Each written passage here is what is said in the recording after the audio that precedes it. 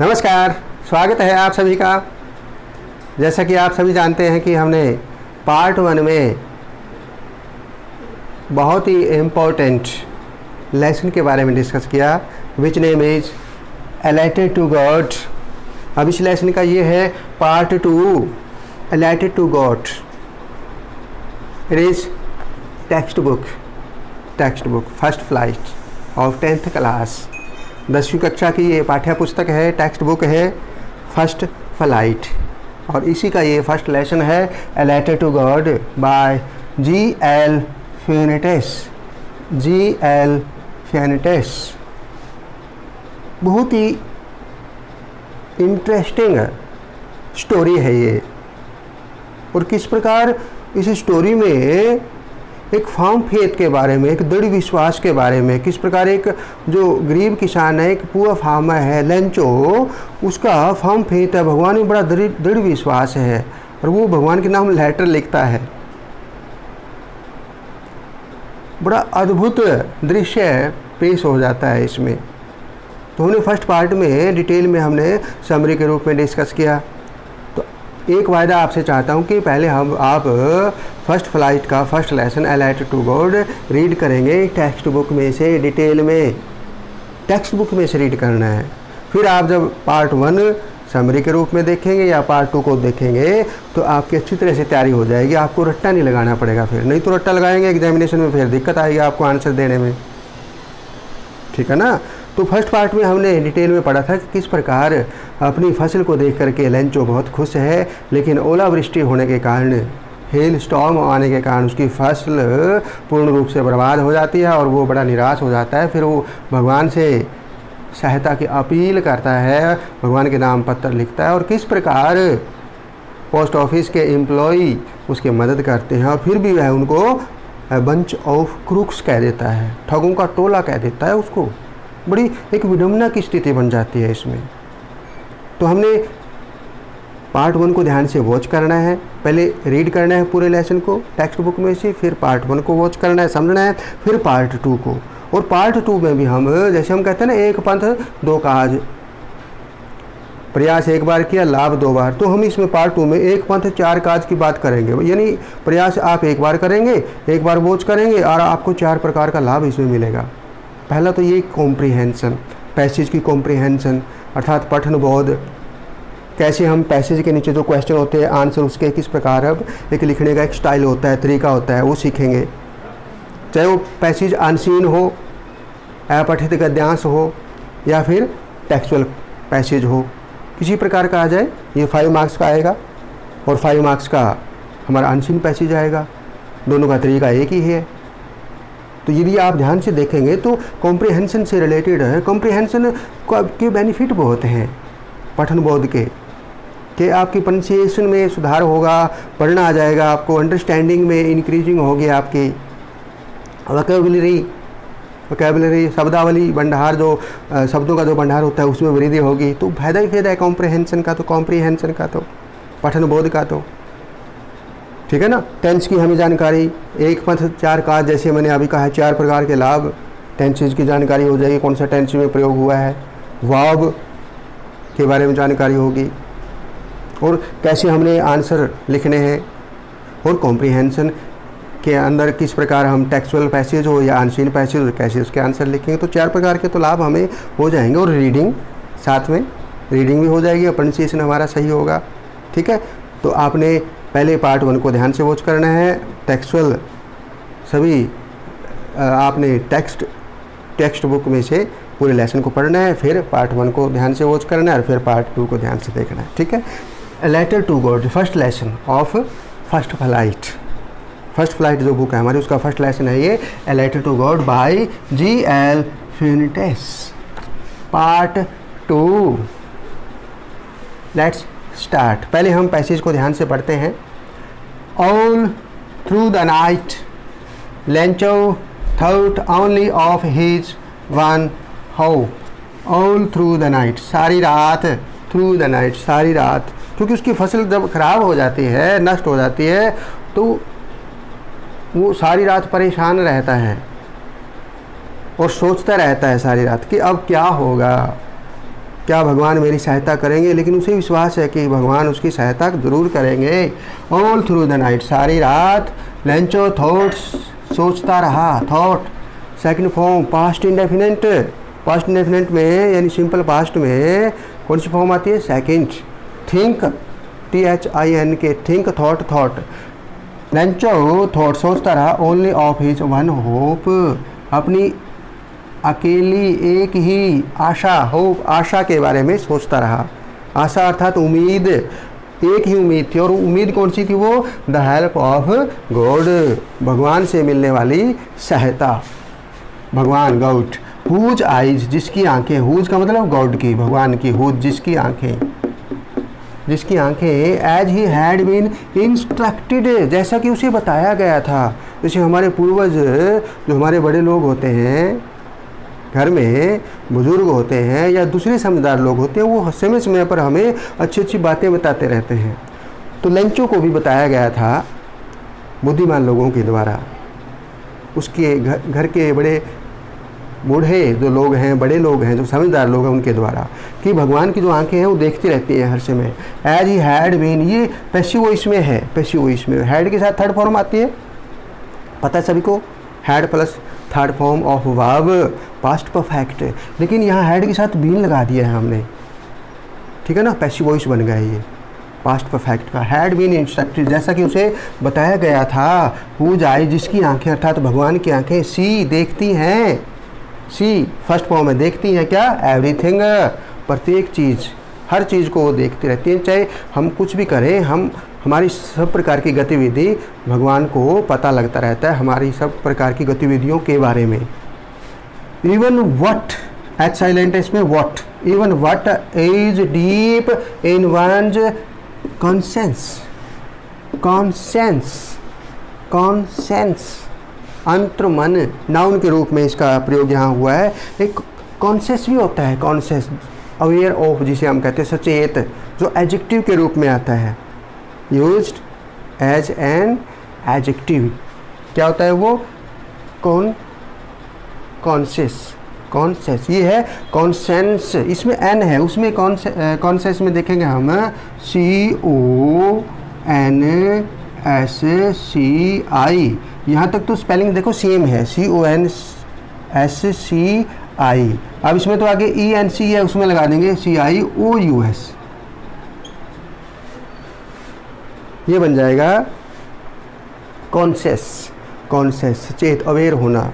Adjective के रूप में आ गया ये कॉन्सेंस और ये है कॉन्सेंस कॉन्सेंस एन एन है इसमें कॉन्सेंस ये नाउन के रूप में, अंतर्मन, हमारा जो अंतर्मन होता है, उसके बारे में भी वो जो अंतर्मन होता है, जो गहराई में हमारा जो डीप गहराई में हमारा जो अंतर्मन होता है, उसके बारे में भी, उसकी आँखें, किसकी आँखें? हु जाइज भगवान की आँखें. जैसा कि उसके, उसको बताया गया था सी एवरीथिंग हर चीज़ को देखती हैं. किसकी आँखें? भगवान की आँखें.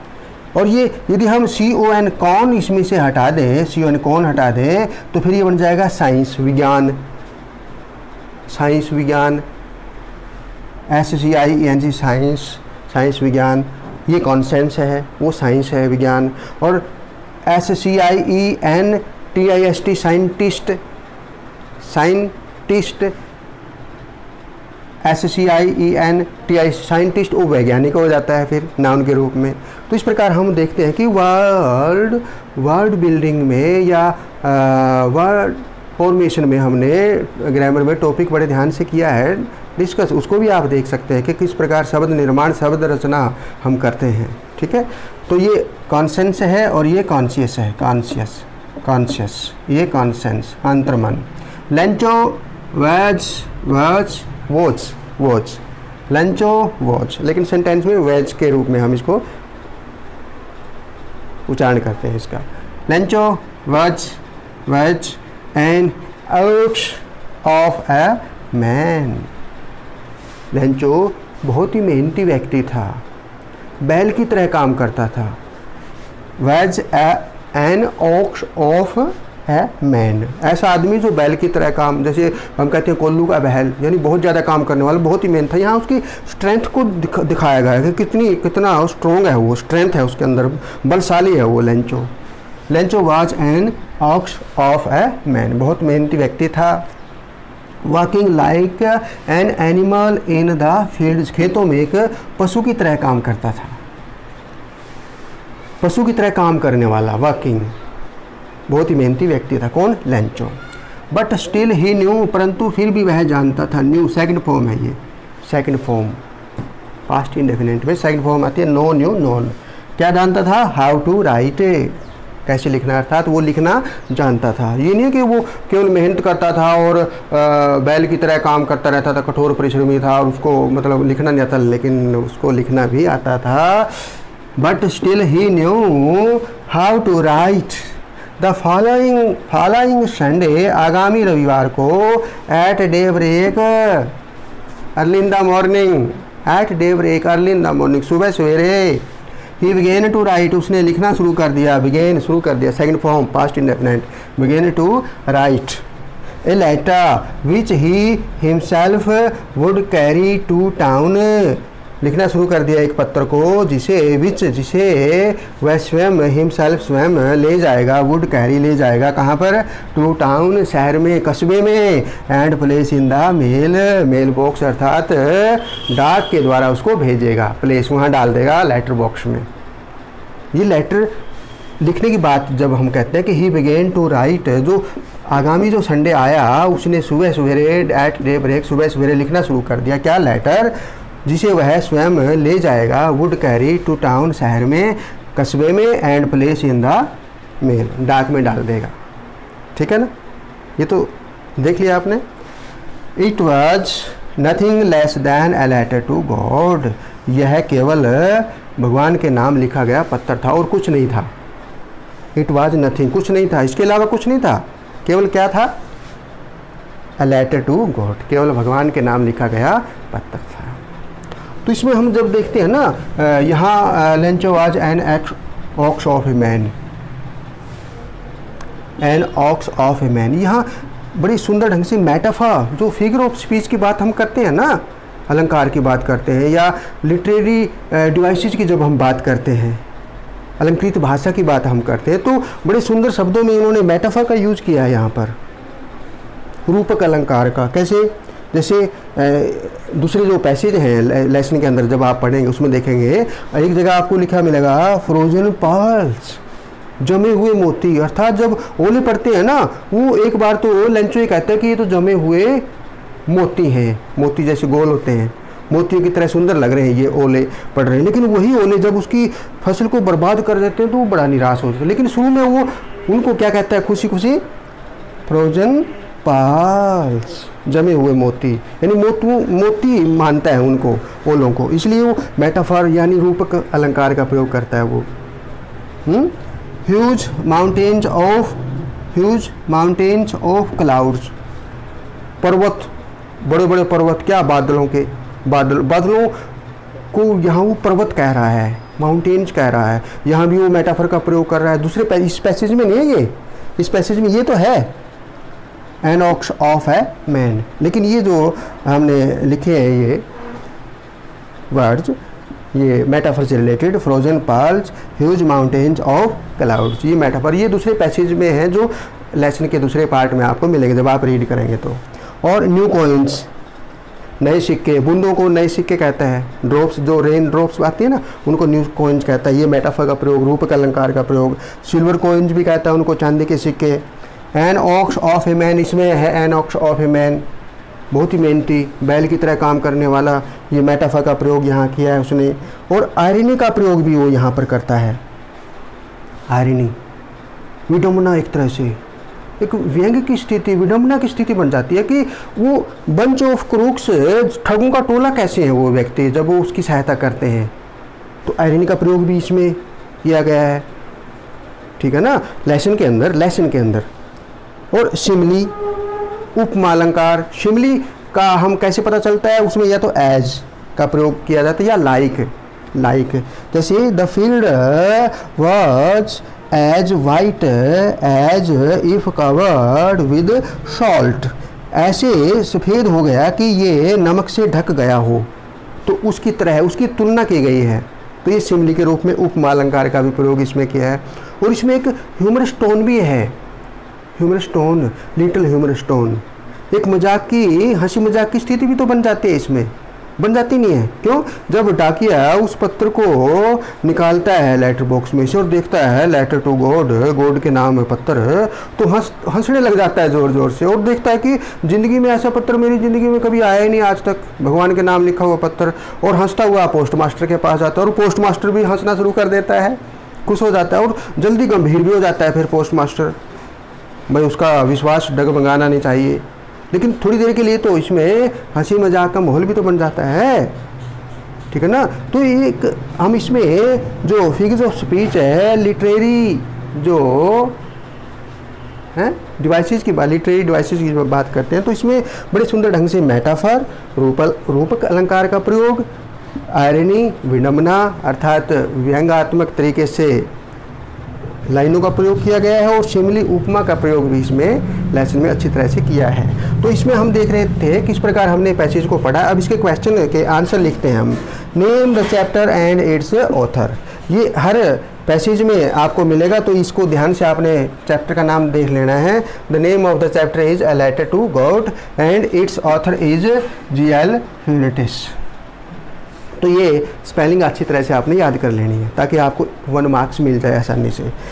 नेक्स्ट क्या है? Two what what kind of a man was Lencho Lencho किस प्रकार का आदमी था? किस प्रकार का आदमी था? तो जब बच्चे देखते हैं ना, वो कई बच्चे कह देते हैं कि Lencho was an ox of a man walking like an एलिमैन in the field ये सेम लाइनें लिख देते हैं कई बार पैसेज में से बच्चे। बहुत गलत करते हैं वो ऐसा। ऐसा नहीं करना आपने। तो क्या करना फिर? अपनी वर्ड्स में, अपने वर्ड्स, अपने शब्दों में लिखना है आंसर। क्वेश्चन की हेल्प लेकर के, जैसे इसमें क्या है? What kind of a man was Lencho Lencho किस प्रकार का आदमी था? जब हम देखते हैं कि Lencho an ox of a man working like an animal in the field मतलब क्या है कि वह बहुत मेहनती था। बस इसका मतलब यही है, बहुत मेहनती था। तो इसका आंसर आंसर हम क्या लिखेंगे? Lencho was was very hard working man was a very hard working बहुत ही मेहनती था वो। लंचो की जगह आप ही भी लिख सकते हैं यहाँ पर। ही के रूप में कि वह he was a very hard working ये पूरी लाइन इस प्रकार लिखने की ज़रूरत नहीं है। अपने शब्दों में बनाना है ना। इसका मतलब भी तो वही है। An ox of a man इसका मतलब हार्ड वर्किंग ही तो है।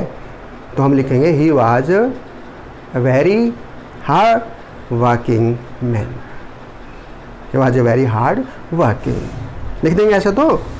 मतलब अपने शब्दों में आंसर बनाना चाहे वो अनसीन पैसेज हो, चाहे टेक्सुअल पैसेज हो. नेक्स्ट टू होम किसे did Lencho write a letter अब इसमें डिड है, देखो. मैंने पहले ही कहा था टेंस सेम रखना है हमने आंसर में भी. डिड का मतलब यहाँ पर पास्ट इंडेफिनेट तो आंसर भी इसका पास्ट इंडेफिनेट में ही होगा। और उसमें सेकंड फॉर्म हो जाएगा आंसर में क्योंकि डिड के साथ तो फ़र्स्ट फॉर्म आती है, इसमें फ़र्स्ट फॉर्म है। जब आंसर लिखेंगे तो डीड कट जाएगा तो और राइट की जगह क्या आ जाएगा? रोट सेकंड फॉर्म हो जाएगी। और क्वेश्चन के अनुसार ही आंसर बनाना है। देखो कैसे। लेंचो ने किसके नाम पत्र लिखा? टू होम किसे भेजा? जो पत्र लिखा, किसे भेजा, यानी किसके नाम पत्र लिखा तो हम यहाँ से स्टार्ट करते हैं इसको लेंचो ये डीड कट जाएगा इसमें से। आंसर में जब हम लिखेंगे टू होम यहाँ भगवान का नाम आ जाएगा। टू के बाद होम किसे लिखा तो लेंचो रोट राइट का रोट हो जाए सेकंड फॉर्म क्योंकि पास्ट इंडेफिनेट है क्वेश्चन तो आंसर भी पास्ट इंडेफिनेट में देंगे। अनसीन पैसेज हो या टेक्सुअल पैसेज हो, ये ध्यान रखना आपने। दस नंबर की आपकी तैयारी पक्की हो जाएगी। हाँ। लेंचो रोट या लेंचो की जगह ही भी लिख सकते हो आप। ही रोट या Lencho wrote a letter to God और गॉड की स्पेलिंग यहाँ से देख लो। असली में तुम्हें, आप सबको पता है ये जी ओ डी गोड होता है। जी कैपिटल लिखना आपने ये ध्यान रखना है। दोबारा देखो लेंचो रोट राइट का रोट हो जाएगा सेकंड फॉर्म क्योंकि डेड यदि यहाँ डू या डज हो ना। डेड की जगह डू या डज हो आ जाए, फिर यहाँ हम फ़र्स्ट फॉर्म लिखेंगे। और सब्जेक्ट यदि थर्ड पर्सन सिंगुलर हो, फिर फ़र्स्ट फॉर्म के साथ एस ये एस लगा देंगे। तो रोट हो जाएगा Lencho wrote a letter to God what was Lencho's purpose in writing the letter जो लेटर लिखने का क्या पर्पज क्या उद्देश्य था उसका? था था वाज था। यानी लेंचो का लेटर लिखने का उद्देश्य क्या था? क्या उद्देश्य था? वह धन प्राप्त करना चाहता था। बस यही उद्देश्य था। वह धन प्राप्त करना चाहता था तो इसका आंसर क्या हो जाएगा? Lencho wanted wanted W A N T E D wanted Lencho wanted to get money किससे फ्रॉम गॉड इसका आंसर देखिए दोबारा। What was Lencho purpose in writing the letters letter पत्र लिखने का उसका उद्देश्य क्या था? किसका? लेंचो का। क्या उद्देश्य था? तो उद्देश्य क्या था? धन प्राप्त करना किससे भगवान से।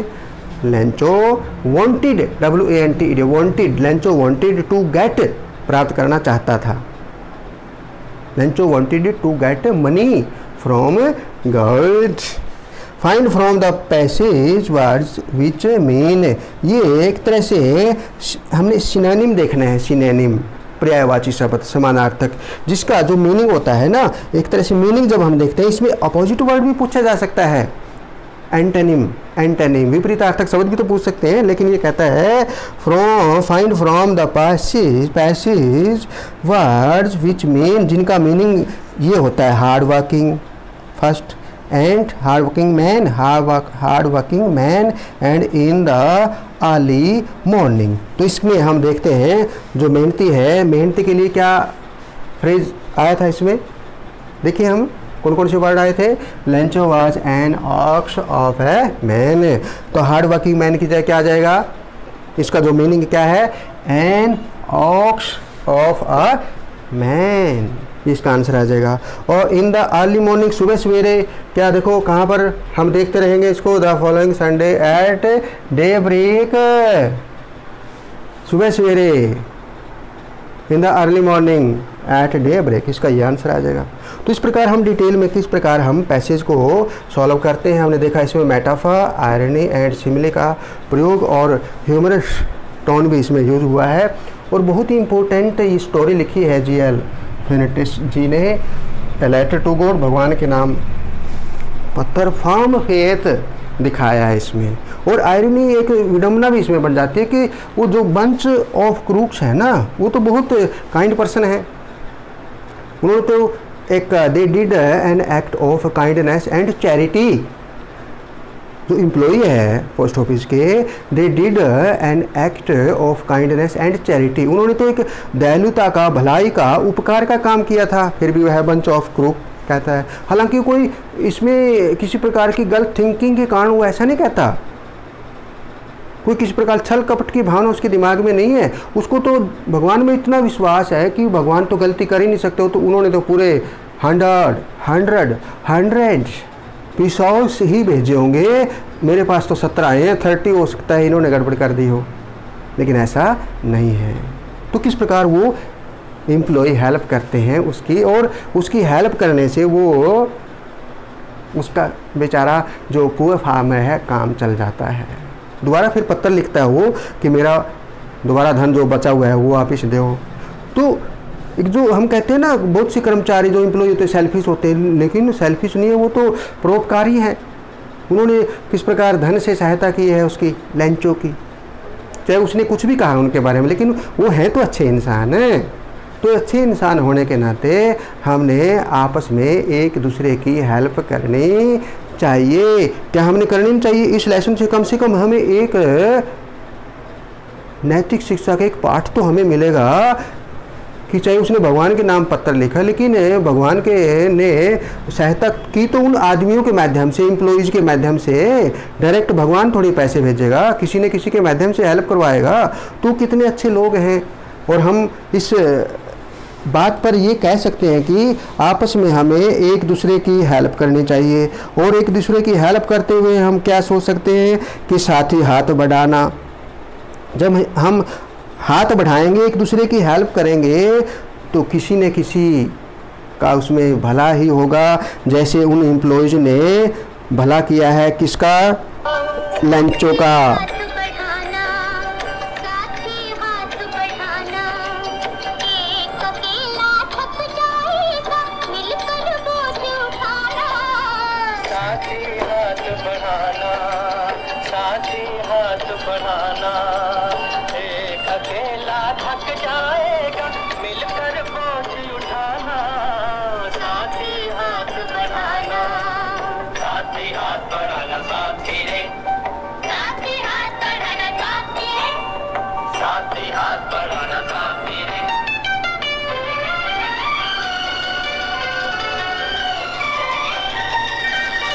चाहे पसीना आ जाए हाथ बढ़ाना है हमने सहायता करनी है।